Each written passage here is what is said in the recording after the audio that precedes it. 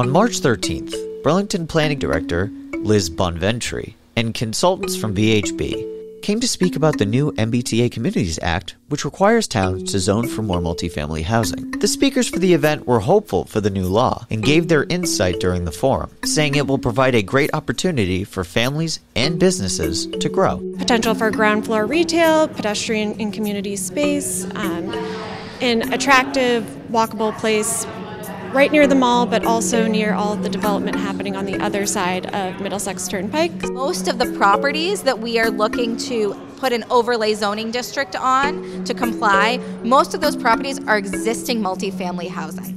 So, most likely, nothing will happen there. The event was then turned over to the residents of Burlington to voice their concerns in small groups, while the speakers listened on and answered any questions they may have had. However, the residents remain worried about the law. In general, I think it's a well intentioned law that's been poorly implemented and tried to cram down dozens of towns. So we have to make the best of it now. There may be opportunities to rescind it later, but this is where we are now.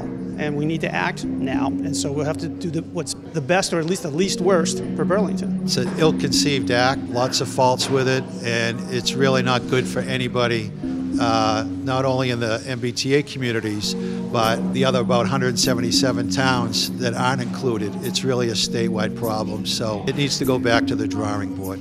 After listening to their concerns, the speakers took their feedback and have expressed their sympathy. I, I, sympathize. This law was not written by a planner. I personally don't think it's good policy. That being said, um, I think that the plan that we have put forward is going to have the least effect on the town that we can while still being in compliance with the law. This is Varys Connolly from B News.